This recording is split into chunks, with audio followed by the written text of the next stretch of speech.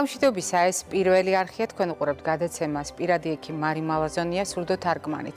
ასე გესალმებით მე უკვე მთელი წლის განმავლობაში და მთელი წლის განმავლობაში ჩვენი გადაცემის კულტში მითითებულია 20 წელი ერთად ეს იმას ნიშნავს რომ მე თქვენთან ერთად ტელეეკრანზე საუბრობ ჯანმრთელობაზე უკვე 20 წელზე მეტია ამ არხზე, პირველ არხზე, ხოლო 10 წლის განმავლობაში ყოველდღე პირდაპირ ეთერში ხვდებით ერთმანეთს და ვცდილობთ გავარკვიოთ რა არის აუცილებელი ჩვენი ჯანმრთელობისათვის, რამ შეიძლება დააზარალოს ჩვენი ჯანმრთელობა და რატომ უნდა შევითვისოთ ესა თუ ის ინფორმაცია იმისათვის, რომ საკუთარ ჯანმრთელობას წაადგეს ეს ყველაფერი და რაც თავარია გამოვიყენოთ ეს ცოდნა ჩვენი ოჯახის წევრების და საზოგადოების ჯანმრთელობის ასიკეთოთ. ინფორმაცია, რომელსაც ჩვენ ვიდეო რჩევების სახით გთავაზობთ ხოლმე, ცხადია, მორგებულია სეზონურ პრობლემებზე, ამა თუ იმ აქტუალურ საკითხზე, რომელიც მაყურებლისათვის განსაკუთრებით საინტერესოა და რა კი გაზაფხული ძალას იკრებს, ბოლოს და ბოლოს ტემპერატურა იმატებს და ზაფხულის კარს მოგვადგა, არის ერთი პრობლემა, რომელიც პრაქტიკულად ყველას აინტერესებს, ეს არის სისხლძარღვებთან დაკავშირებული. და ჩვენი ვიდეო რჩევები უკავშირდება სწორედ ცოდნას, როგორ უნდა მოუაროთ სისხლძარღვებს ზაფხულში. ვენების მოვლასთან დაკავშირებული აუცილებელი ინფორმაცია კიდევ ერთხელ გავიმეოროთ და შემდეგ ჩვენ სტუმართან ერთად სწორედ ქვემო კიდურების სისხლძარღვებზე ვისაუბრებთ. ვენური უკმარისობის და ლიმფოსტაზის თავიდან ასაცილებლად. გაითვალისწინეთ რისკ ფაქტორები. გენეტიკური წინასწარ განწყობა. ნაკლებად მოძრავი ცხოვრების წესი. ჭარბი წონა და სიმსუქნე. ასაკი. სქესი. სეზონი. საყურადღებოა შემდეგი ნიშნები. სიმძიმის შეგრძნება ფეხებში. ტკივილი. ქავილი. შესიება. პროფილაქტიკისთვის გამოიყენეთ მარტივი ვარჯიშები. თუ მჯდომარე სამუშაო გაქვთ ადგილზე ამოძრავეთ ფეხები. წამოდექით, ფეხის ცერებზე აიწიეთ და დაეშვით ქუსლებზე 8 ჯერ მაინც დღეში რამდენჯერმე. თუ მოგეცემათ შესაძლებლობა, ფეხები მოათავსეთ მაგალითად სკამზე. წარმოსახვით დაატრიალეთ ველოსიპედი არამუხლებით, არამედ ტერფებით. გამოიყენეთ გრილი წყლის შხაპი ფეხებზე. ცივწყალში დასველებული პირსახოცი გაწურეთ და წაისვით ფეხზე ტერფიდან მუხლისკენ მოძრაობით. სიცოცხლის გახანგრძლივება და არა გადამდებ დაავადებათა თავიდან აცილება შესაძლებელია. სწორი კვებით, რეგულარული ფიზიკური აქტივობით, თამბაქოზე უარის თქმით. აირჩიე ჯანსაღი ცხოვრების წესი. პირადი ექიმის რჩევით. გავიხსენეთ ინფორმაცია, რომელიც ძალიან გვჭირდება ჩვენი ვენების ჯანმრთელობისათვის, განსაკუთრებით, როდესაც ზაფხულში ტემპერატურა იმატებს და სხვადასხვა პრობლემის მქონე ადამიანებს ეს ცოდნა ყოველდღიურად სჭირდებათ. და თუ ჩვენ ვლაპარაკობთ სისხლძარღვებზე, მაშინ რასაკვირველია, ჩვენი სტუმარი აუცილებლად არის, რა თქმა უნდა, სისხლძარღვთა ქირურგი. სისხლძარღვთა ქირურგიის დეპარტამენტის ხელმძღვანელი თბილისის სახელმწიფო სამედიცინო უნივერსიტეტის პროფესორი ბატონი კოტე ყიფიანი. დილამშვიდობისა ბატონო კოტე. მე ასევე უნდა გავამხილო რომ თქვენ ჩვენი გადაცემის ძალიან ერთგული მეგობარი ბრძანდებით წლების მანძილზე 10 წლის მანძილზე ყველა სატელევიზიო სეზონში თქვენ მონაწილეობდით და ყველა თქვენი რჩევა იყო მიმართული მაყურებლის ჯანმრთელობის მდგომარეობის გასაუმჯობესებლად, განსაკუთრებით სხვადასხვა პრობლემის პროფილაქტიკისათვის. და თუ ჩვენ ვლაპარაკობთ ამ საკითხებზე, მე უნდა ასევე გითხრათ, რომ ჩვენ გადავწყვიტეთ მაყურებლის თხოვნა კიდევ უფრო მეტად გაგვეთვალისწინებინა და ჩვენ შევთავაზეთ აპლიკაცია. აპლიკაცია სადაც მითითებულია ესა თუ ის ამედიცინო პრობლემა და მაყურებელს აქვს საშუალება ამ აპლიკაციის ფარგლებში, რომელსაც ქვია აირჩიე შენი თემა, მიგვითითოს რომელი საკითხი აინტერესებს ყველაზე მეტად. და შესაბამისად, როდესაც მიმდინარე თვეში ჩვენ შევაჯამეთ, რომელი საკითხი აინტერესებდა ყველაზე მეტად მაყურებელს, აღმოჩნდა, რომ მაყურებელთა 25%-მა ვენების უკმარისობა აირჩია, მაყურებელთა 26%-მა ვენების ვარიკოზული დაავადება, ხოლო 24%-მა ქვემო კიდურების არტერიების დაავადებების მიმართ გამოხატა მაღალი ინტერესი. ამიტომ სრულად ბუნებრივია დღეს თქვენი ამოცანა განგვიმარტოთ რა ხდება ქვემო კიდურებში რატომ არის ასეთი ინტერესი მაყურებლის მხრიდან არის თუ არა არსებითი განსხვავება ვენების პრობლემებსა და არტერიების პრობლემებს შორის და რატომ არის აქტუალური მოახლოებულ სეზონთან კავშირში ეს ყველაფერი. დავიწყოთ თავიდან. რას აკეთებს არტერიები, რას აკეთებს ვენები, განსაკუთრებით ქვემო კიდურებში? აა, კალოდომარი, მოგესალმებით. ჩემთვის დიდი პატივია ყოველთვის თქვენთან ყოფნა სტუდიაში. ესე იგი, მოდით ასეთ დავიწყოთ იუმორით. ქვემო კიდურები საკმაოდ მნიშვნელოვანი ორგანოა ადამიანისთვის. ეხლა თქვენი თვით რომ ნებისმიერი ორგანოა მნიშვნელოვანი, ხო? მაგრამ ქვემო კიდურები ეს მნიშვნელოვანზე უნიშნულოა ეს ასე ჩემი გაგებით არის. რატო? იმიტომ რომ ადამიანი ხარისხი ცხოვრების არის უსაზღვრო, ვისაც ის დარბის, დადის, მოძრაობს და ასე შემდეგ. ეს ერთი. და იმიტომ არის ინტერესი მაყურებლების რომ ეს პრობლემები გადაწყვეტოს. ხა ვიდრე დავიწყებდით ლაპარაკს ქვემო კიდურებზე, მნიშვნელოვანია ჩემ პრაქტიკაში ხდება ასეთი. ვენები მაწყობს, ამ დროს შესაძლებელია ვენების პრობლემა კი არ იყოს არტერიული. ამიტომ რომ მაყურებელი და ეს ჩვეულებრივი მოვლენა ვერ არჩევს რა არის ვენური ნაკადი, ვენური სისტემა, ქვემო კიდურებზე ალაპარაკი და რა არის არტერიული. ექსკურსი, მოკლე. ესე იგი იქ ხომ არ გადავინაცვლოთ? კი ბატონო. მოდით გადავინაცვლოთ, ჩვენ დამხმარე ყავს აქ ოჯახში, ბატონო კოტე. ნებისმიერ ორგანოს ჭირდება ჟანგბადი. ჟანგბადი ესე იგი მიდის ორგანოს მათ შორის ქვემოკიდურებზე არტერიული სისტემების მეშვეობით, ანუ არტერიული სისხლის ნაკადი. ანუ ისე ჩვენთან წითელია, ხო? აბსოლუტურად ესე ქვემოკიდურებში. ესე იგი არტერიულ არტერიებში სისხლი არის გაჯერებული ჟანგბადი, ხო? მაგრამ ნებისმიერ ორგანოს ის იქნება თირკმელი, ქვემო კიდურები, უნდა გასცეს ჟანგბადი, შემდეგ გადამუშავებული სისხლი ვენური სისტემის მეშვეობით, ანუ ვენურის გადამუშავებული სისხლი, ანუ ჟანგბადი უკვე ნაკლებად არის, საერთოდ არ არის. უნდა კვლავ მოხდეს ქვემო ღრუვენის მეშვეობით ფილტვის არტერიებში გაიჟღენთოს, ასე მარტივად ვიტყვი.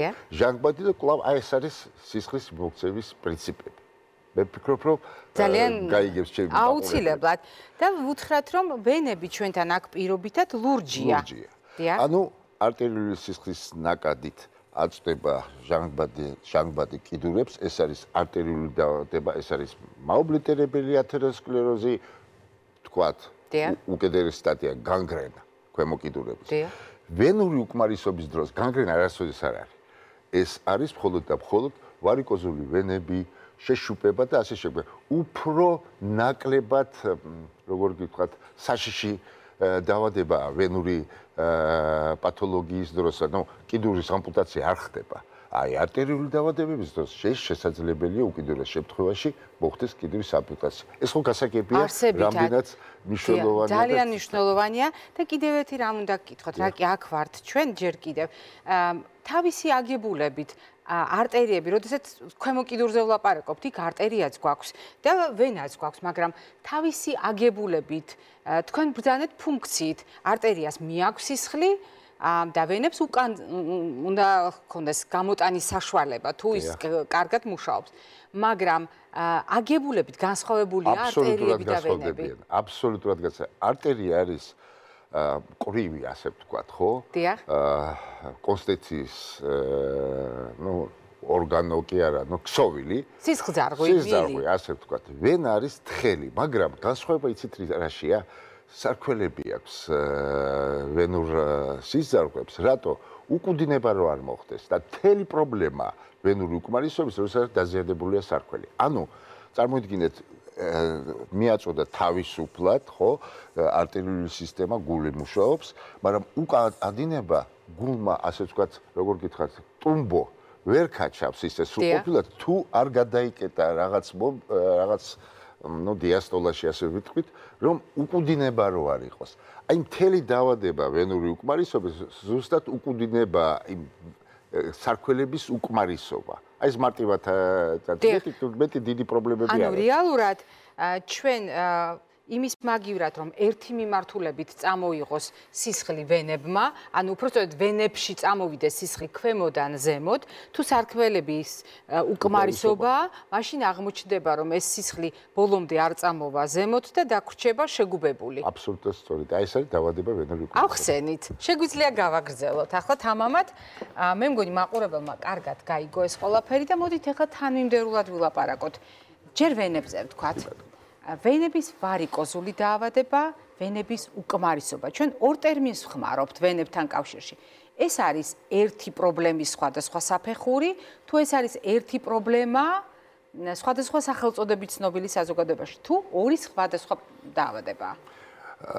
ეს ერთი დაავადება, მაგრამ მე რატო არის ასე ვთქვათ პრინციპული, რომ ვიცოდეთ თუ რას ნიშნავს წვავე ვენური უკმარისობა, ეს არის ტრომბოზი. დიახ. და არის ქრონიკული ვენური უკმარისობა. სადაც შედის აი რასაც ჩვენ ვარიკოზული დაავადება, პოსტრომბუტული დაავადება და ასე შემდეგ. ანუ წვავე და ქრონიკული. წვავე ნიშნავს რომ მოკლე დროში რაღაც მოხდა. თქმა უნდა, ტრომბოზი, აი ტრომბოზი რო ეშინია მაყურებელს. ტრომბი დაეცათო. ეს არის ვენურ ვენურ სისტემაში ხდება ესა. აი მოწყდა ტრომბი და გულში წავიდა ესეთ გაფცელებული. აი ეს ზუსტად არტერიაზე გვეკითხებიან ხოლმე. ამ შემთხვევაშიც მხოლოდ და მხოლოდ ვენური პრობლემები. დიახ. მოდით მაყურებელს უპასუხოთ ის გვერდთება და გავაგრძელებთ. დილამშვიდობისა გისმენთ. გისმენთ ეთერში ხარ. ქალბატონო მარი და თქვენ სტუმარს. ესეთი შეკითხვა მაქვს. რამოდენიმე წლის წინ გავიკეთე მეჯბარდაყის კოფსო არტროზი. მის შემდეგ დამრჩა კიდურების შეშუპება და მითხრათ რომ ეს არის ლიმფოსტაზი. რამდენი პრეპარატი არ ვიხმარი, არავითარი საშველი არ დამადგა. ეხლა თბილისში აი ესეთი ტორის დონეზეა თუ როგორ თითქოს ამ ვენოზურ იმაში უყენებენ სტენდს. და შეკითხვა მაქვს ესეთი აი რომელ კლინიკაში და რომელი ექიმი აკეთებს რომ აი ამ დაავადებას ну იცით რა 75 წლისა ვარ და ისე გადამეღალა გული და ყველაფერი და ყოველ დილას თქვენი მაყურებელი ვარ და ძალიან დიდი მადლობა რომ თქვენ ასეთ კარგ საქმეს უდგახართ სათავეში ძალიან დიდი მადლობა თქვენ შეფასებისთვის რაც შეეხება შეკითხვას. ჩვენ სხვათა შორის უნდა ვუთხრა ქალბატონს რომ აი ამ კითხვების გათვალისწინებით ლიმფოსტაზე ხშირად საუბრობთ ხოლმე. გვჭირდება ამ პრობლემებზე საუბარი. როგორც სისხლძარღვოვანი პათოლოგიების შემთხვევაში ასევე შეკითხვები აქვთ სხვათა შორის ონკოლოგიურ პაციენტებს სადაც ასევე ეს აქტუალური თემა. და ამაში გვეხმარებიან ხოლმე ლიმფოსტაზიოლოგები მაგრამ ბატონ კოტე ეს მეთოდი რაზედაც ქალბატონმა მიგვანიშნა ანუ ვენებში შუნტის ვენების შუნტირება იმისათვის, რომ ლიმფოსტაზის ეფექტი იყოს ან არ ქონდეს, ან იყოს მინიმალური. არსებობს ასეთი მეთოდი, კეთდება ასეთი რამ საქართველოში? ქირურგიული ჩარევა. დიახ. იცით ეს იყო ერთი 15-20 წლის წინ ძალიან პოპულარული იყო და როგორ გითხრათ, ბელ კლინიკებში, სოფლიოში, ხედელებაში კეთდებოდა ეს ოპერაციები. ანუ რა არის ლიმფოსტაზი? ლიმფური ხო ჩვენ თქვით ორი სისტემა არტერიული ვენური, მაგრამ დაგვავიწყდა რომ ლიმფური სისტემაც არის, ისეთ სადინარებია. სადაც ლიმფა გადააქვს ასე თქვათ ცენტრალურ ვენაში. აი ეს ამ სადინარების ბლოკი იწვევს შეშუპება ანუ ლიმფოსტას. ეს არის საკმაოდ როგორ გითხრათ, იცით, საშიში დაავადება არ არის, მაგრამ ძალიან დისკომფორტული დაავადება. უშუქდებათ ადამიანს კიდური თუ შეშუპება ვენური უკმარისობის დროს ძალიან მარტივად შეიძლება განიცადოს, ანუ რეგრესი. ასე ვთქვათ, ხო, ალაგდეს. აქ კი ძალიან რთულია. თუმცა არსებობს ანუ დგრადია უფრო შეშუპება. და იყო გატაცება, აი ესე ვიტყოდი, გატაცება, მაგრამ როდესაც დააკვირდნენ შედეგებს, დაც მიკროქირურგები იყვნენ ჩართული ამ პროცესში, დააკვირდნენ შედეგებს ძალიან ხშირად და უახლოეს პერიოდში ოპერაციის შემდეგ ვითარდებოდა კლავ თრომბოზი. ამიტომ ეს მეთოდი ფაქტიურად არ არ გაამართლა. არ გაამართლა და ნუ ერთეული კლინიკები შეიძლება აკეთებდნენ, მაგრამ პოპულარული არ არის და ძალიან ფართოდ არ არის გავრცელებული. მიხვდნენ რომ ლიმფოსტაზის მკურნალობა შესაძლებელია, холод და მხოლოდ კონსერვატული მეთოდით. მე მაქვს მედიკამენტებით და რაც მნიშვნელოვანია ყველაზე ეს არის კომპრესიული თერაპია. ანუ ელასტიკით. აი მეტი მეტი საშუალება დღეს დღეობით არ არსებობს რომ ჩვენ მოლოდინი გქონდეს რომ რაღაცა შეიძლება გადაწყვეტოს ხო სწორედ ამიტომ მქონდა ასეთი მინიშნება მაყურებელთან. როდესაც ჩვენ ამ თემებზე საუბრობდით ასევე გადაცემაში გავიმეორეთ ცხოვრების ფაქტორებთან დაკავშირებული თქვათ ხელშემწყობი გარემოებები მაგრამ ამავე დროს აი ამ კომპრესიული თერაპიის მნიშვნელობა როდესაც ვთქვათ, სპეციალისტი, ლიმფოსტაზიოლოგი ატარებს ამას, ან ასწავლის, როგორ უნდა გაკეთდეს ეს ბინის პირობებში. აი ეს ძალიან სერიოზულად ეხმარება პაციენტებს. კიდევ არის მაყურებელი ბატონ კოტე. დილამშვიდობისა გისმენთ. დილამშვიდობისა მოგესალმებით, მოგესალმებით თქვენს სტუმარს. აა რა მინდა გითხრათ, სტენდები მაქვს გულზე სამი. დიახ. უკვე 4 წელია. დიახ. ხოდა ძალიან მისივდება ცალი ფეხი. ახლა ორივეზე მაქვს ვენური უკმარისობა. ეს ნამდვილად ვიცი მაგრამ ეხა დამიციცო და კოჭიდან მუხლამდე. დიახ. მეგონა რომ წითელი ქარი იყო მაგრამ ექიმთან რომ მივედი არა. ასე მითხრა რომ ეს არის ვენური უკმარისობაო აი რა უნდა გავაკეთო ახლა მე ამაზე? აი ანგიოლოგისის მაქვს იქ დასკვნა დევს რომ ჩულკები დამინიშნა მაგრამ ვერ ვიხმარე იმდენად მიჭერდა რაზომ არ ვიყიდე მაგრამ იმდენად მიჭერს რომ აი გული მიხდება ცუდად გასაგები. ხო და რა გავაკეთო ხო არ ვიცი. კი ბატონო, დიდი მადლობა შეკითხვისთვის. სხვათა შორის აი ამ ეგრეთ წოდებულ სამკურნალო კოლგოტებზე, გოლფებზე, გეტრებზე, წინდებზე ყოველთვის არ არის ხოლმე ერთგვაროვანი აზრი, იმიტომ რომ ზოგი ძალიან წუხდება. აა ყველაფრის გათვალისწინებით ქალბატონს აქვს სამი სტენტი, უსივდება და რაც თავია მიგვანიშნა რომ შეწითლდა და ისე გასივდა კოჭიდან წვივამდე ცალმხარეს. ისეთ არის მე გავიღიმე რატო? ხშირი კითხვებია ჩემთან ესეთ პაციენტები მოდიან აი ვერ თავს ერთი და იგივე ტექსტია გული მიწუხდება. სულ ფიქრობდი რატო რატო იმიტომ რომ აბსოლუტურად ფიზიოლოგიურად არ არის თარი კავშირი არა გულთან ამ ელასტიურ გოლფებს და წინდებს და ასე შემდეგ. იცით რა არის? აქ არის ახლა დღეს თანამედროვე სხვადასხვა ფირმები სხვადასხვა კარგი ფირმები ანუ აბსოლუტურად ვერც შეამჩნევა უფრო ქალბატონებისთვის არის ეს აქტუალური, რომ ეს არის ელასტიკური სამკურნალო ტიპი, იმდენად ხელი, მაგრამ თავის ფუნქციას ასრულებს. მნიშვნელოვანია კომპრესია მოხდეს. არის 4 ასე ვთქვი კლასი, თქოს პირველი, მეორე, მესამე, მეხუთე და რა მთავარია, იცით, მე ასე მაინც ფიქრობ, ამოცანა რატო ხდება ეს. შერჩეული არ არის კარგად. მესმის აფთიაქებში ტრენინგს გადიანის მომსახურე პერსონალი და ზომებს იღებენ, მაგრამ ეს არის აბსოლუტურად ინდივიდუალური. ინდივიდუალური ხა ექიმები ექიმები არ აკეთებენ ამას, იმიტომ არც იციან ესა, ხო? არის პერსონალი, რომელმაც ეს ძალიან კარგად იცის და მე, როდესაც ვაგზავნე, ну, სხვადასხვა ხარ მე და თქვა, იქ აბსოლუტურად პრობლემები უკვე აღარ არის. ანუ შერჩევა არის საჭირო, მაგრამ რო ვთქვათ, რომ იმიტომ არ ვაკეთებ ამას, რომ გული მიწუხდება და იქნებ წამლების იმედად დავჭეს არ კატეგორიულად არასწორია, იმიტომ რომ კომპრესიულ თერაპიას, როგორც ლიმფოსტაზის და ვენური უკმარისობის, ძალიან მნიშვნელოვანი ადგილი უკავია შედეგებს. ანუ ზეწოლა გვჭირდება ამ ელასტიური ვთქვათ, აქსესუარების დახმარებით და ეს უნდა იყოს გამო აუცილებლად უნდა მიუსადაგოთ. და საკითხი, რომელიც შეწითლებას უკავშირდება, ვენური უკმარისობის ფაზებში. ეს შესაძლებელია, იცით, ხა ანტიბიოტი პროცესია ქსოვილებში, მარტო ვენურ სადინარეების გამო ტრომბოზი მაგალითად შეიძლება ხო შეწეთება იყოს, მაგრამ ეს არის შორს წასული პროცესი, აი შეწითლება არის ანტიბიოტი პროცესი. ქსოვილებში, მიმდინარე ქსოვილებში, ეს სხვა თავისი მექანიზმები. მე ფიქრობ, რომ ეს პრობლემა, ну, ამისათვის არის, რა თქმა უნდა, პირველ რიგში, პირველ რიგში შეშუპება მოიხსნას, შეშუპება როგორ მოიხსნება? თუ ელასტიური გოლფებს არ ვატარებთ და მედიკამენტური მკურნალობა, რა თქმა უნდა. კიდევ მაყურებელი, დილამშვიდობისა გისმენთ. გისმენთ. დილამშვიდობის, კალატონო. გამარჯობა. დილამშვიდობის. მოგესალმებით თქვენ. გამარჯობა, შეგიძლიათ დასვათ კითხვა. თუმასაც. ა შეკითხვა გვაქვს ესეთი. დიახ. ჩემს ახლობელს აქვს არ დაელოდოთ ხმას ტელე ტელევიზორში. ტროფიკული წყლული ორივე ფერზე, უკვე ორი წელია.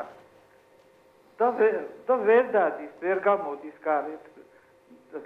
აი შეკითხვა მაქვს ესეთი თუ შეიძლება დასველება დაბანვა და საჭმელი რამე ხომ არ უშლის ხელს და რა შეიძლება უფრო რომ მიიღოს. ბევრი სხვადასხვა წაბლები წაისვას სადა ბევრი რაღაცები მაგრამ ვერ შველის და ბოლო დროს მიაგნო არ არ ვასახელებ კი ბატონო.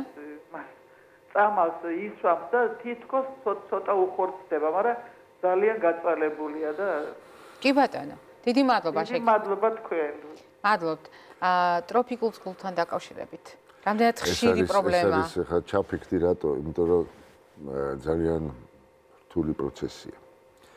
თუ ჩვენ სტატისტიკა გვაქვს. საქართველოსში მათ შორის მხოლოდ 0.2%-ს მოსახ აი ისაც აქ ვენური კომისიობა აქვს ტროფიული წყული ეს არის ძალიან მცირე ასე ვთქვათ როგორ გითხრათ რაოდენობა. ნაწილი მცირე ნაწილია მაგრამ ეს არის იმ ადამიანების ტრაგედია. წარმოიდგინეთ ყოველ დღე ყოველ დღე შეხვევები ყოველ დღე მოვლა ანუ ეს ადამიანები მხოლოდ ფიქრობენ როგორ მოუარო და პრობლემები არ ქონდეს ტკივილებიც არ. ეს არის სამწუხაროდ არის რთული ყველა შემთხვევაში მაგრამ მე მე რამე დაგიცხათ ახლა სად მიყავს პირველ რიგში უნდა დადგინდეს არის თუ არა შესაძლებლობა რომ გამოსწორდეს ეს პრობლემა. მე მესმის რომ ეს არის ქრონიკული ვენური უკმარისობა. შეიძლება ვარიკოზი იყოს, შეიძლება ტრომბოზი იყოს, ანუ პოსტრობოტული დაავადება, რომელიც უფრო რთულად ექვემდებარება მედიკამენტურ კურსს, მაგრამ პირველ რიგში უნდა დადგინდეს ტოპიური, ანუ მიზეზი ტროფიული წყურისა. გასაგებია თუ აქტიური ჩარევა ვერ მოხერხდა ყოველთვის აი ამ ტროფიული წყული როდესაც აკადემიას მენური უკმარისობის უნდა იფიქროს თუ შესაძლებელია სხვა სხვა მეთოდები არსებობს ხო? ქირურგიული ჩარევა რომ გამოასწრო. თუ ეს ვერ ხერხდება სხვადასხვა მიზეზების გამო რა თქმა უნდა ინტენსიური კონსერვატული კუნალო და კლავ ამბობ აქ აქ არის მნიშვნელოვანი მედიკამენტები და ადგილობრივი მალამოების გარდა კომპრესიული თერაპია, ну შეშუპება უნდა მოიხსნეს. მესმის ესეც რომ არის ახლა სპეციალური წინდები, წინათ ამას შეუძლებელი იყო წინდების ჩაცმა, იმიტომ რომ ტროფიული წვრილი, მაგრამ ახლა სპეციალური სპეციალური წინდები არსებობს ჩვენთან საქართველოში, ну ასე ვთქვათ, და ეს მნიშვნელოვანია. ანუ მე რა მინდა გითხრათ, რომ მარტო მედიკამენტური, მარტო მალამოების ასე ვთქვათ, ხმარება და მარტო ტრიკოტაჟის ხმარებას ეს არის კომპლექსურად და რა თქმა უნდა შედეგი შესაძლებელი იყოს. თუმცა მე კიდევ მეორებ ეს რთული პროცესია და ძალიან დაჩაგრულები არიან პაციენტები. აი რა შეიძლება ჰიგიენას ძალიან აქტუალურია ხოლმე ასეთ შემთხვევაში საკითხი. ანუ როგორ უნდა წარიმართოს ჰიგიენა იმიტომ რომ შეიძლება თუ არაო დაბანა ანუ რეალურად მე დამჩა შტაბეჭდილება რომ ქალბატონმა დასვა კითხვა საჭიროა თუ არა ამ პროცედურის თქვათ გარკვეული ცოდნის საფუძველზე ჩატარება. ისიც ესეც ხშირი კითხვებია ჩემს პრაქტიკაში. რახან ტროფიული წყული არის, ანუ ჭრილობაა. და ყველას გონია დარღვეულია. ყველა დარღვეულია, ყველას გონია აუცილებლად ინფექცია შეიძლება, რა თქმა უნდა, გიგიენა არის საჭირო, მაგრამ არიქა ყველაფერი სტერილური და ეს ეს სწორედ არ არის. რა თქმა უნდა დაიბანოს აბსოლუტურად ისე როგორც ჯანმრთელს დავბანდი. პირიქით ეს ძალიან კარგია, იმიტომ რომ ის პროდუქტები, ასე ვთქვათ, ტროფიულ წყულზე რო არის ნადებები, ის ჩამოირეცხება და მალამალ ყოველთვის ჩვენ ვურჩებთ კიდევაც რომ ფეხი დაიბანოს პაციენტ მოკიდურებზე ალაპარაკი და მე წაისვას მალამოები ესა თუ ის ასე შემდეგ. მაგრამ ეს აბსოლუტურად გამართლებულია და არ არის ხიფათი რომ ადამიანმა დაიბანოს ფეხი. დიახ. თქვენ კვებასთან დაკავშირებით ვკითხეთ, მე კვებაზე აუცილებლად მექნება ცალკე ბლოკში საუბარი. ერთადერთი რაც ბატონ კოტეს არ უთქვამს და მე უნდა გითხრათ, ეს არის მისი საყვარელი ფრაზა, რომ მიუხედავად იმისა, ტროპიკა, ანუ კვება დარღვეულია თუ არ არის დარღვეული, არ დაგავიწყდეთ, არ ასაზრდოთ ორგანიზმი ნიკოტინით. ანუ წეველობა არის ყველაზე დიდი საფრთხე სისხლძარღვებისათვის და მით უმეტეს არტერიული მე მე გამოვიყენე თქვენი ფრაზა ბატონო. მით უმეტეს არტერიული უკმარისობის დროს. დიახ.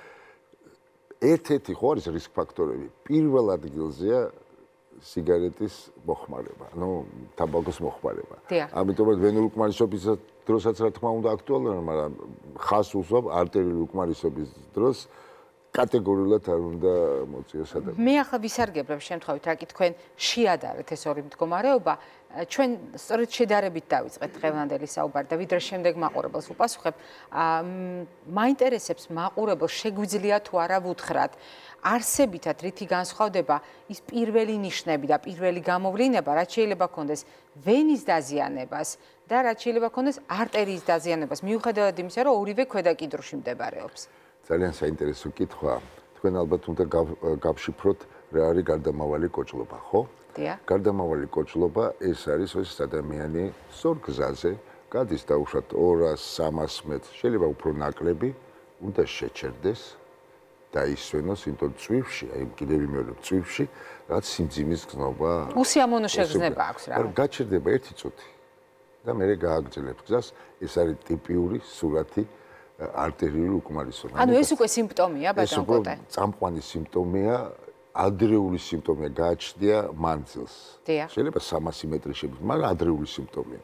ეს არის არტერიული უკმარისობა. გასაგებია სასახა ჩვენ ვერ ვიტყვით, შეიძლება ხერხემიდან იყოს, მაგრამ ჩვენ ხო ვადარებთ ვენური უკმარისობასა და ვენური უკმარისობის დროს აბსოლუტურად პრობლემა არ არის, გადის 2 კილომეტრს, მაგრამ საღამო ჟამს დაღლილი ფეხების სინდრომი, ანუ დაიღალა ფეხი. რა უნდა მოხდეს? უნდა წამოწვეს მაგალითად და გაივლის. დილით ეს აბსოლუტურად მე სიმპტომებზე ვაღვიძე. კი არა, რეკომენდაციას კი არ უწევ. გასაკვირველია. ესე იგი დილით აბსოლუტურად არავითარი არ აწუხებს ადამიანს კლავ. აა მიდის სამსახურში, მაგრამ მეორე დღის მეორე ნახევარში ეს მე წავყვან სიმპტომებზე. დიახ, დიახ. ეხლება ფეხები. შეიძლება სხვადასხვა სიმპტომები ისე კონჩხები, ასე ვთქვა, სხვადასხვა მაგრამ ეს არის წამყვანი. აი, რითი უნდა გავარჩიოთ და პირველი სიმპტომი, რომელიც ადამიანმა უნდა მიაქციოს ხურაბება, ვენური პრობლემა აქვს თუ არტერიული, აი ეს არის. და რაც თავარია, ხა კი ჩვენ არ მომბო სხვა სიმპტომებზე, ეს არის შეშუპება და ასე შემდეგ, მაგრამ ეს არის არტერიების შემთხვევაშიც გვაქვს შეშუპება? არა. არა, ეს აი, ამიტომ შეშუპება იცით ისე გვაქვს, როდესაც არის მეოთხე სტადია, ანუ იწყება განგრენა. აი მხოლოდ მაშინ და ჩვენ ხო 4 სტადია უნდა გავიაროთ რომ მაშინ როდესაც ვენეფის შემთხვევაში შეშუპება ძალიან ადრე გვაქვს შეიძლება შეშუპება არ იყოს მაგრამ დაღლილობა იყოს. აი ეს არის ვენური უკმარისობა. ძალიან მარტივად. მარტივად შესაძლებელია ნამდვილად. დილამშვიდობისა გისმენთ. ა ეჭვი მაქვს რომ გაითიშა. თუ ყავს ისე მაყურებელი. გაითიშა. ჩვენ გვაქვს ახლა სხვათა შორის მაყურებლების კითხვიდან გამომდინარე სიახლე, რომელიც ვფიქრობ დაინტერესებს ყველას.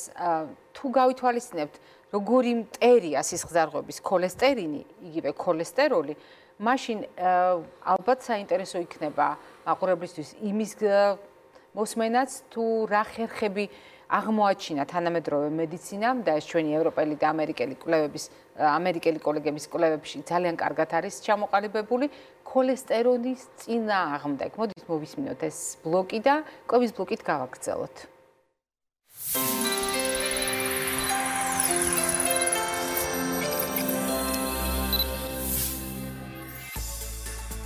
რვა ხრიკი ქოლესტერინის წინააღმდეგ. ქოლესტერინის გაკონტროლებაში ჩაი დაგეხმარებათ. სხვა კარგ თვისებასთან ერთად ჩაი ქოლესტერინის დონეს დაფლაწევს. მწვანე ჩაი აუმჯობესებს სისხლში ქოლესტერინის დონეს. ნირთვით ჯანსაღი ცხიმები. სისხლში ქოლესტერინის დონის გასაუმჯობესებლად ჯანსაღი ცხიმები დაიხმარეთ. ჰარვარდის სამედიცინო სკოლის მიხედვით, ტრანსხიმები განსაკუთრებით ცუდად მოქმედებს ქოლესტერინზე. იზრდება ცუდი ქოლესტერინის დონე.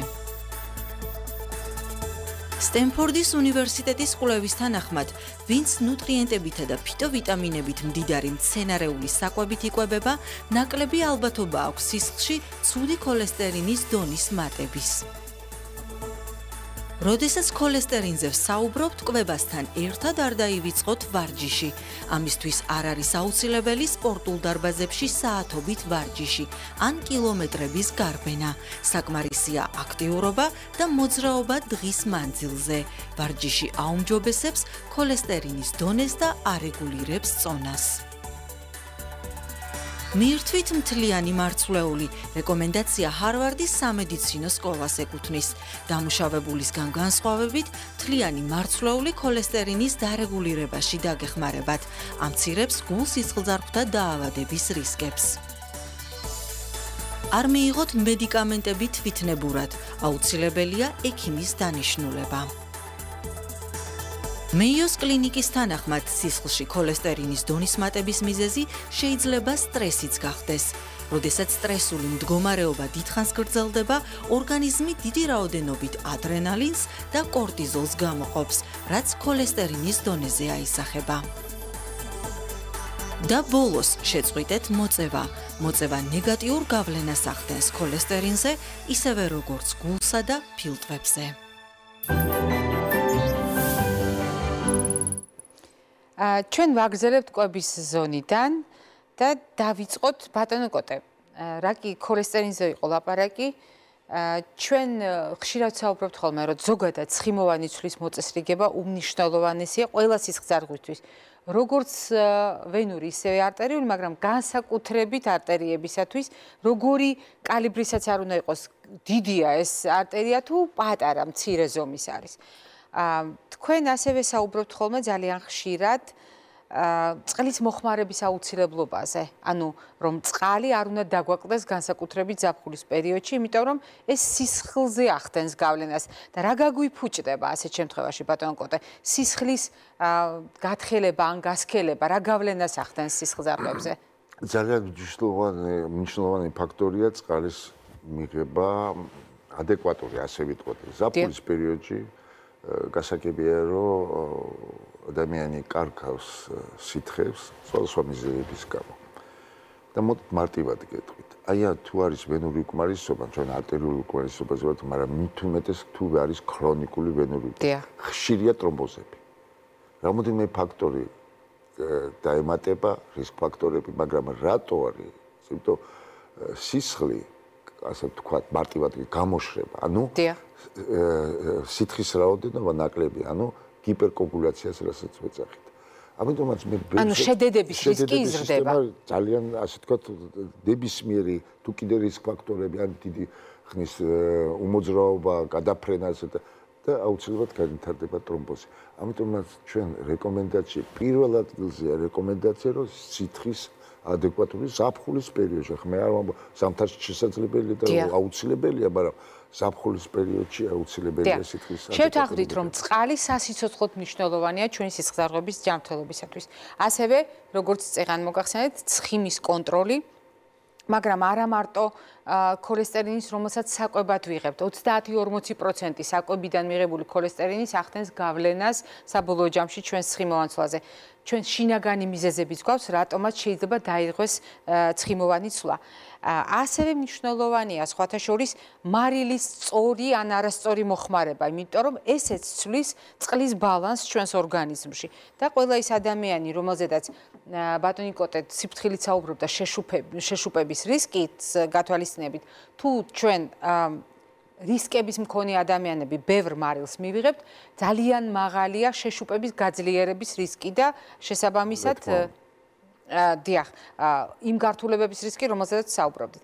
ალკოჰოლთან დაკავშირებით როგორ ვართ, ბატონო კოტე? იცით რა არის, ალკოჰოლთან არის ძალიან საინტერესო.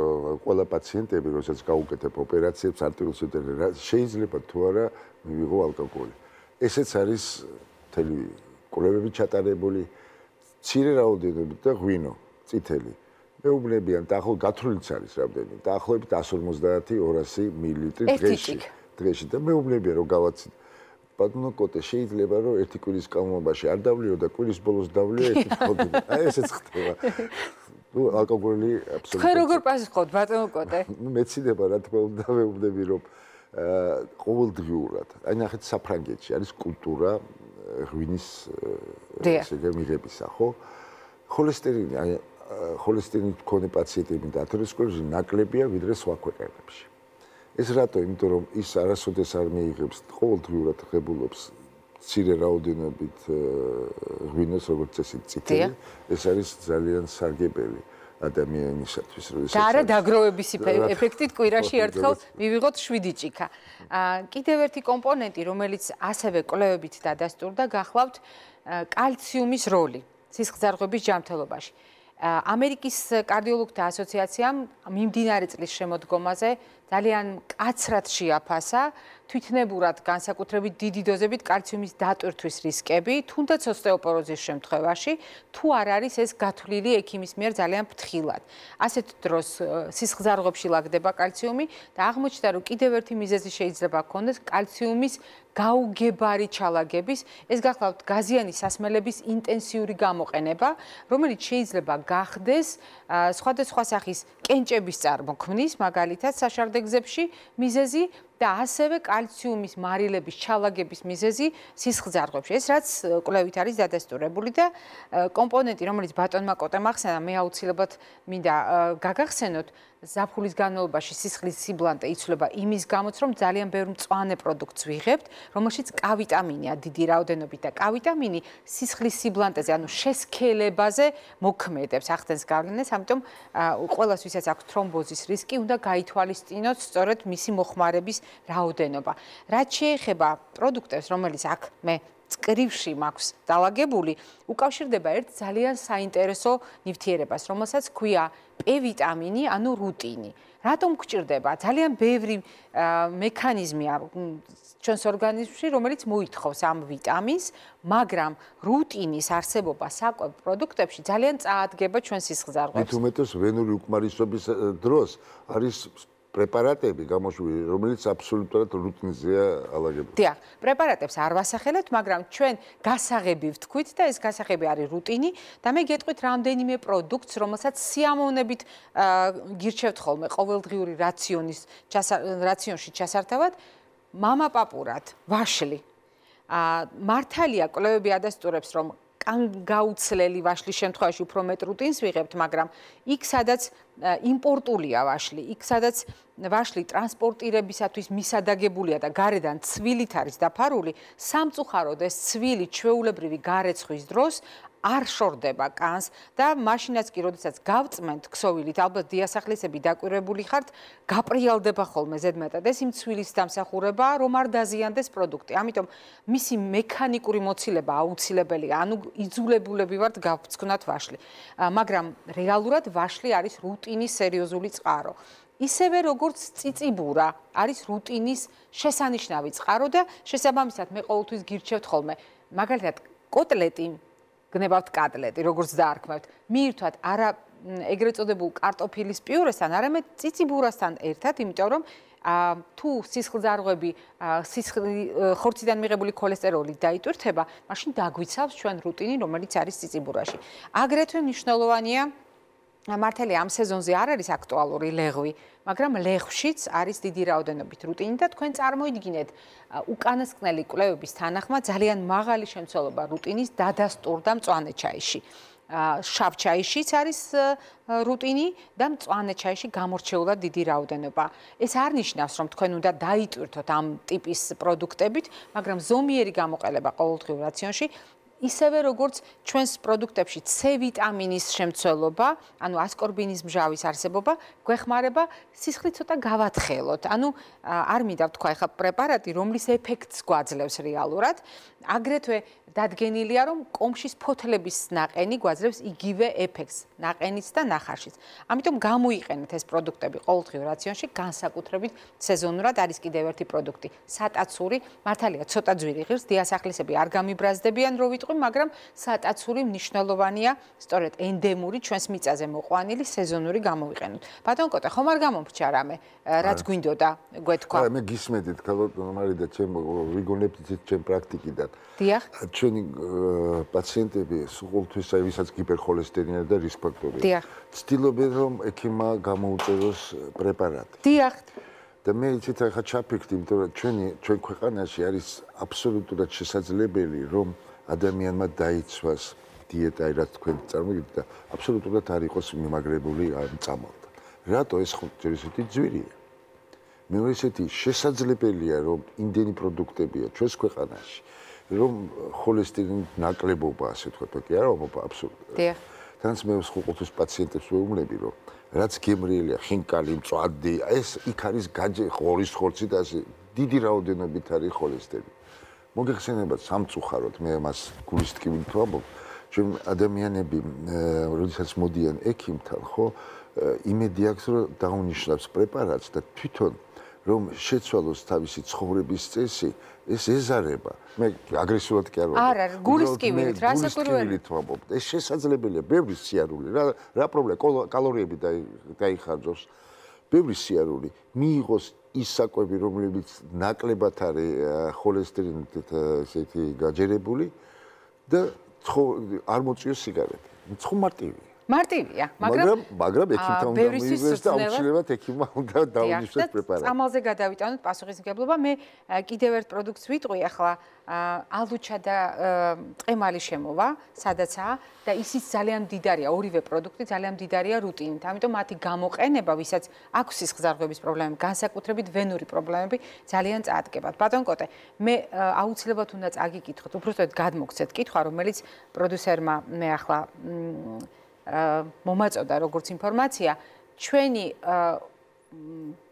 თანამემამულეები რომლებიც უცხოეთში ცხოვრობენ ძალიან ხშირად გწერენ ამ თუ იმ შეკითხვით მოგმართავენ და ამჯერად კითხვა არის ასეთი ქალბატონი უკვე 7 თუ 9 წელია არის უცხოეთში 9 წელი არის უცხოეთში და აქედან 2 წელია აქვს პრობლემები ჯანმრთელობასთან დაკავშირებული აწუხებს ფეხები როგორც გაირკვა ეს უკავშირდება ვენებს ამავე დროს ამ ქალბატონს აქვს საშვილოსნოს დაწევა და საშვილოსნოს დაწევით გამოწვეული შარდის ბუშტის დაწევაც.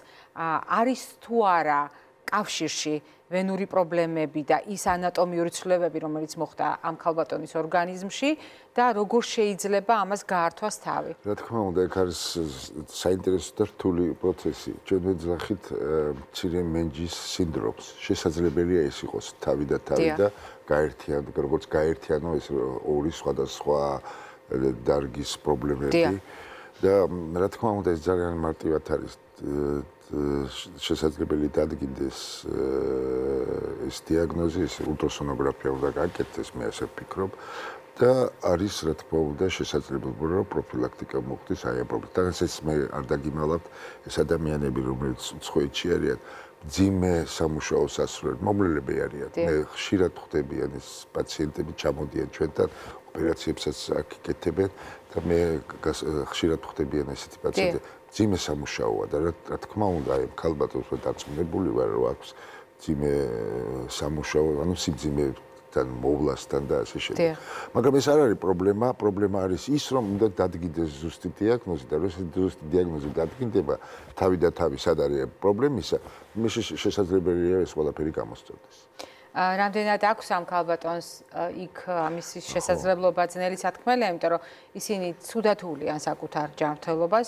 დროც ცოტა აქვთ, არ აქვთ სათანადო სამედიცინო დაზღვევები, ანუ სამედიცინო სერვისი, ამიტომ ჩვენ ამ შემთხვევაში იმ რეკომენდაციებით, რომელიც თქვენ უკვე მოისმინეთ, დიახ. ხა მინდა დავეხმარო ამ ქალბატონს. თუ წამყვანი არის შეშუპება ქვემო კიდურში და ეს ალბათ იქნება ვენური კონსაბე ხო ხვდებით? ძნელია ასე დიაგნოზსა. ურჩევდი ერთ-ერთი მნიშვნელოვანი არა პრეპარატები, ანუ ელასტიური ჩულკები, არის კოლგოტკები, არის გეტრები და ჩულკების დარებას, რომ შეუმსუბუქოს ეს თავისი ასე ვთქვათ ხვედრი ასე ძიმე სამუშაო ნებისმიერ სიტუაციაზე უფრო უკეთესად იგზობს თავს. მარტივია ეს ელასტიური ჩუქების დარება. დიახ და ის პროცედურები რომელიც თუნდაც ცივი წყლის გრილი აბაზანების გამოყენების დიახ. ცურვა, ცურვა ყველა იდეალურია მე კიდე გამოგჩა ჩვენ სიარული ხო კარგია როგორც არტერიული უკმარისობის დროს და ვენური უკმარისობის მაგრამ ცურვა არანაკლები სარგებელი ადამიანებს. და ის პროცედურები ხელმისაწვდომი იქნება თქვენთვის ისევე როგორც როგორც შეძლებთ საკვებით შეუწყოთ ხელი და წონის კონტროლი და რაც შეეხება დაწევას ამისთვისაც არსებობს კეკილეს ვარჯიშები არსებობს ჩვენი გადაცემის Facebook გვერდზე ეს ვარჯიშები მითითებულია და გამოიყენეთ თქვენ თვითონ ბინის პირობებში ამის გაკეთება ქალბატონებს შეუძლიათ. ჩვენ სხვათა შორის ფიზიკური აქტივობის ბლოკი ყოველთვის გვაქვს, ამიტომ ამჯერად გვაქვს ველოსიპედის მნიშვნელობა, რამდენად არის გააზრებული ჩვენ ჯანმრთელობისათვის. პატარა სიუჟეტი იქნება და შემდეგ გავაგრძელებთ.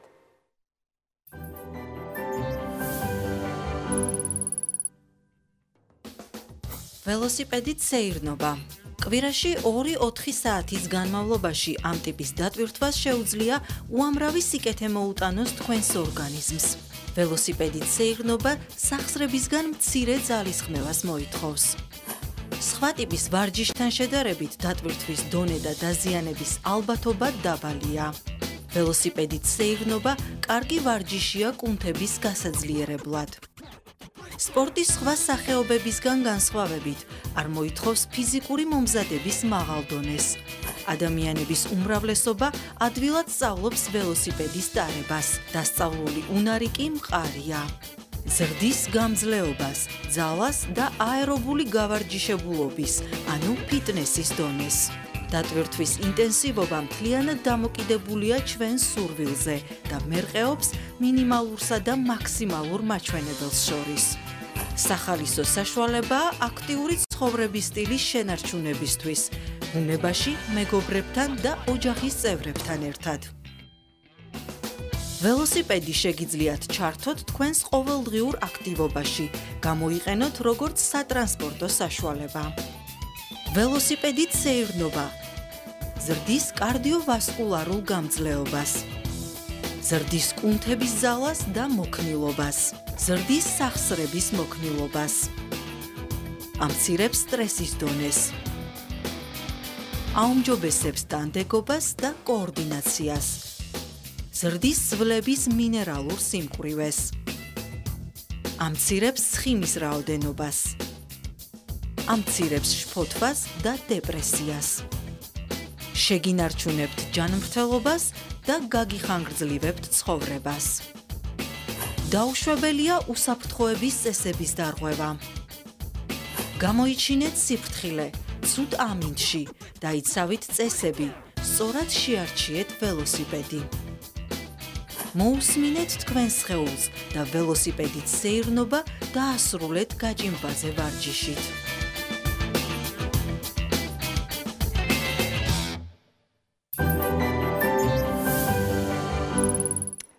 ბატონ კოტე, თქვენ ხშირად საუბრობთ ხოლმე წეღანას რამდენჯერმე გაიმეორეთ ფეხით სიარული რამდენად მნიშვნელოვანია და მოძრაობა იმისათვის რომ სისხლძარღვები დავიცვათ.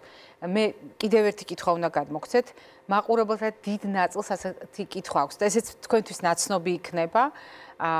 არის თუ არა მხოლოდ სიმძიმე და უსიამოვნო შეგრძნება ფეხებში უკვე სიმპტომი მაშინ როდესაც გარედან არაფერი ჩანს, ანუ გარეგნული ნიშნები არ აქვს. ან არის მხოლოდ პატარ-პატარა სისხლჩაქცევები. ანუ ტელეანგიეტეზი. დია, ეს მიანიშნებს თუ არა ან ვენების ან არტერიების დაზიანებას. ძალიან მნიშვნელოვანი აბსოლუტურად არის სტადიები ვენური უკმარისობისა, ხო? როდესაც აბსოლუტურად ვარიკოზი არ ჩანს, ანუ ვარიკოზი და ტელეანგიეტეზებიც შეიძლება არ იყოს, მაგრამ ანუ ეს წრუწრი ჩაქცევები. ისიც შეიძლება არ იყოს, მაგრამ სიმძიმის გზნობა, მარტო სიმძიმის გზნობა ეს მიანიშნებს, რომ შესაძლებელია იყოს ვენური უკმარისობა. სიმძიმის ხნობა. ახლა რაც შეეხება არტერიულ არტერიული პათოლოგიების და ქრონიკული არტერიული კმარისობისას, პირველი სიმპტომი როგორც ჩვენ თქვით, ეს არის გარდამავალი კოწლობა. სამა შეიძლება 500 მეტრი გაიაროს, და პირველი პირველი ნიშნები ეს არის და სიცივის შეგრძნება ტერფებში. ესეც მნიშვნელოვანი სიმპტომი. კიდევ შეკითხვა არის ასაკი. ასაკი რამდენად ახდენს გავლენას როგორც არტერიების ისე ვენების პრობლემაზე? მნიშვნელოვანია ძალიან. 50 წლის შემდეგ, როგორც ვიცით, რომ ათეროსკლეროზის განვითარება მიდის სწრაფად, აი არტერიული უკმარისობის დროს ასაკს ძალიან დიდი მნიშვნელობა აქვს. ანუ 60 წლის ადამიანები, რომელსაც აი ეს გარდამავალი კოშა პირველ რიგში უნდა ვიფიქროთ, ხო არ არის აქ არტერიული ქვემოკიდრულის არტერიული უკმარისობა. რაც შეეხება ვენურ სისტემას. ეს არის არ ვიცი თქვი თუ არა, ქალბატონებს უფრო ხშირად არის ყველა მესამე ქალბატონს რომელსაც გაიღო ხედრი მშობიარა ხო? იქ გამოიყოფა გორმონები და აი იმ პერიოდში ის გორმონები გამოყოფ აზიანებს სარქველებს ვენურ სარქველებს. მაგრამ თუ არ არის დატვირთული ქალბატონი გენეტიკურად არ არის ჭარბიწონის ანუ რისკ ფაქტორი ნაკლები ეს როგორც წესი მშობიარობის შემდეგ ეს ყველაფერი ალაგდება ამიტომაც ერთი ხუთთან არის შედარებით თუ ხუთ ქალბატონს აქვს ერთ მამაკაცს ეს ვენებთან დაკავშირებული პრობლემა არტერიებზე როგორ გვაქვს? არტერიებზე გენეტიკური გენდერული თანასწორობა არის აქ რა თქმა უნდა უფრო მამაკაცები ჭარბობენ სიგარეტი ის რისკ ფაქტორები მამაკაცებს უფრო მეტი აქვს თუმცა არტერიული უკმარისობა ქალბატონებში თქვა იქ არის 1-10-ზე რამდენად არის თქვათ მოძრაობა და დატვირთვა, ფიზიკური აქტივობა, ვენების პროფილაქტიკის, ვენების დაავადების პროფილაქტიკის და მისი უკეთ მართვისათვის ეს გასაგებია. არტერიების შემთხვევაში სუარი ეფექტური. ნიშნულოვანია. ნახეთ, ჩვენ ვამბობთ, რომ ათეროსკლეროზით დაზიანებულია მაგისტრალური სიძახი, მაგრამ კიდე კარგი რომ ადამიანს აქვს კიდე კოლატერალები, ანუ წვრილი კაპილარები. დამხმარე სიძახი. დამხმარე. შესაძლებელია სიმპტომების საერთოდ გახდეთ, რაც ვამბობ, გინდას რომ დახურული იყოს ათეროსკლეროზით. იმდენად თუ აქტიურად ცხოვრებ წეს წეს მიმართავს ბევრს დადის ის კოლატერალები ავსებს იმ დეფიციტს რომელიც უნდა მივიდეს ბოლო ჯამში ტერფები და ამიტომაც აბსოლუტურად სიმპტომებიც გქება ამიტომაც ამ შემთხვევაში ვენური უკმარისობის დროსაც და არტერიული უკმარისობის დროს ჩვენ ვამბობთ რომ აუცილებელია სიარული ბევრი მე ძალიან მომეწოდა თქვენი სიუჟეტი რომ აი ველოსიპედზე. მე მესმის თბილისში ეს ხანდახან შეუძლებელია მაგრამ თუ თქვენ საქართველოს მარტო თბილისი არ არის. აბსოლუტურად ყველგან შესაძლებელია ხო რომ ადამიანმა გამოიყენოს ეს ველოსიპედი თუნდაც ბათუმში და ასე შემდეგ ამიტომაც მე სკეპტიკურად კი უყურებდი ამ სიუჟეტს მაგრამ მომაგონდა რომ აბსოლუტურად მე ხშირად დავდივარ რეგიონებში ეს შესაძლებელია. ამიტომაც თუ კულტურა დაინერგება მე მეცაც გეტყვი თუ ჩვენ სიარულისგან რაღაც ველით ხო წარმატებებს ამ დაავადების ასე ბრძოლაში ველოსიპედით ასე ვთქვათ მოგზაურობა და მაგრამ ეს ძალიან მნიშვნელოვანია. ორჯერ მეტი უფრო ეფექტი. მიხარია ბატონ კოტე თქვენ რომ მიგვიხდით ჩანაფიქრს ამ შემთხვევაში იმიტომ რომ როდესაც 10 წლის წინ ჩვენ მაგიდაზე პირველად წყარი დავდგით და დავიწყეთ გაუთავებად საუბარი მე ეს გამოცდილება მაქვს. არ იყო საზოგადოება მაშინ ასე მზად განწყობის თვალსაზრისით რომ მიიღოთ წყლის მოხმარების ის კულტურა რომელსაც ჩვენ თავაზობდით. თუმცა დღეს მიუხედავად იმის ამაზე საუბრობს თუ არა ყოველდღიურად ეს უკვე ახსოვს საზოგადოებას და ამას აკეთებს. და მე იმედი მაქვს რომ ეს რეკომენდაციებიც უკვე ჩვენთვის ჩვეული იქნება. ჩვენ ახლა უბრალოდ დროს ვასწრებთ და მალე სწორედ აქეთკენ წავა. კიდევ უფრო მეტი ადამიანი მიხვდება რომ ცხოვრების წესის ფაქტორებით ნებისმიერი დაავადების მართვა უკეთესია. ჩვენ გვაქვს ახლა ვიდეო რჩევების ბლოკი, ანუ ვიქტორინა და შემდეგ დავბრუნდებით რომ ბატონმა კოტამ შეაჯამოს დღევანდელი საუბარი. აკნეს პროფილაქტიკისთვის. კანი ადამიანის სხეულის ყველაზე დიდი და ყველაზე ხილული ორგანოა. კანზე გამონაყარი შეიძლება უკავშირდებოდეს. საკუთრივ კანის დაავადებას, შინაგანი ორგანოების მდგომარეობას, იმუნურ სისტემას და სხვა. აკნეს განვითარების რისკი დამოკიდებულია კანის ტიპზე, ორგანიზმის ჰორმონულ სტატუსზე, ასაკზე, კუჭნაწლავის მდგომარეობაზე. გახსოვდეთ, სახის კანი შეიძლება იყოს მშრალი, ცხიმიანი, შერეული. ყველაზე გავრცელებულია სახის კანის შერეული ტიპი, მაგალითად, მშრალი ყრიმალების ზონაში და ცხიმიანი შუბლის, ცხვირის არეში და ტუჩის ირგვლივ, ანუ ეგრეთ წოდებულ T-ზონაში. არ დაგავიწყდეთ, აკნეს რისკი უფრო მაღალია ცხიმიანი კანის შემთხვევაში. ადვილად შეთავსებადი ნახშირწყლების, ტკბილეულის, ნუგბარის, სომეულის სისტემატიური გამოყენება ზრდის აკნეს რისკს. აკნეს შემთხვევაში დაუშვებელია კანის წვალება და მექანიკური დაზიანება. არყის, ეთილის სპირტის ან სხვა აგრესიული ხსნარის გამოყენება. კურნალობაზე უარის თქმა და მხოლოდ მაკიაჟით შენიხვა. აკნეს პროფილაქტიკასა და მკურნალობაში გაითვალისწინეთ. კანის თანმიმდევრული და რეგულარული ჰიგიენა. ექიმის მიერ შერჩეული ინდივიდუალური საშუალებები. გარდატეხის და შუახნის ასაკის ჰორმონული ცვლილებები. საკვების შეთვისების და მონელების დარღვევა. სიცოცხლის გახანგრძლივება და არაგადამდებ დაავადებათა თავიდან აცილება შესაძლებელია. სწორი კვებით, რეგულარული ფიზიკური აქტივობით, თამბაქოზე უარის თქმით. აირჩიე ჯანსაღი ცხოვრების წესი. პირადი ექიმის რჩევით.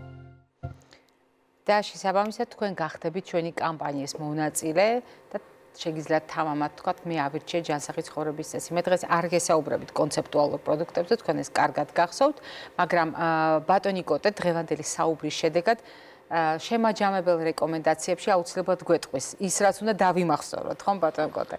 მოდით ასე ვთქვათ, ვენური უყვარისობა, ბევრი სიარული, შეცვალეთ ცხოვრების წესი.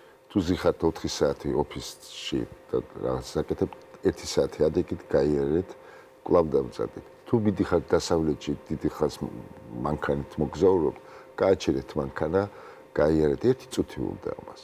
მეტი არა. და ცურვა ველოსიპედი. აი მერწმუნე თუ თქვენ ამას გააკეთეთ მე მაყურებელს ნაკლები შანსია რომ გავითარდეს ვენური უკმარისობა. არტერიული პრობლემები, ანუ ქრონიკული არტერიული უკმარისობა.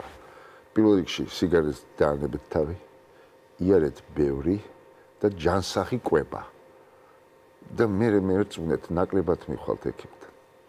და ჩვენ როგორც ბატონმა კოტემ გითხრა პირველივე საგანგაშო ნიშანზე მიუხედავად იმისა რომ შეიძლება არაფერი გვაწუხებს მაგრამ თუნდაც 400-500 მეტრის გავლის შემდეგ გვაქვს ის უსიამოვნო შეგრძნება წვივებში რასაც ბატონმა კოტემ რაზედაც ბატონმა კოტემ მიგვანიშნა როგორც გარდამავალი კოჭლობა ჩვენ ამ დროს არ კარგავთ დროს და მივდივართ მაშინათვე ექიმთან. ბატონ კოტე დიდი მადლობა რომ მოიგობრობთ ჩვენთან და ყოველთვის მობზანდებით ხოლმე მიუხედავად თქვენი ოპერაციების მჭიდრო გრაფიკისა მაყურებელს შევახსენებ დღევანდელი ჩვენი გადაცემის სტუმარი გახლდათ სისხლძარღვთა ქირურგი თბილისის სახელმწიფო სამედიცინო უნივერსიტეტის პროფესორი, სისხლძარღვთა ქირურგიის დეპარტამენტის ხელმძღვანელი ბატონი კოტე ყიფიანი. ჩვენ ერთმანეთს შევხვდებით ხვალ პირდაპირ ეთერში და ვეცდებით გავარკვიოთ, ვინ არიან მემარჯვენეები და მემარცხენეები. რასაკვირველია, პოლიტიკურ პოზიციებზე არ საუბრობთ, ანუ ადამიანები, რომლებიც უპირატესად მარჯვენა ხელით, ან უპირატესად მარცხენა ხელით მართავენ საკუთარ ცხოვრებას. ეს აისახება თუ არა მათი ტვინის განვითარებაზე, რაში მდგომარეობს ტვინის თავისებურებები, მემარჯვენების და მემარცხენეების, არის თუ არა ბავშვის და ზოგადად ადამიანის განვითარება დაკავშირებული აი ამ ტენდენციასთან, მოკლედ, ხოლ ნევროლოგთან ერთად გავარკვევთ ამ საკითხებს, ნახვამდის დღეს გრძელობას გისურვებთ.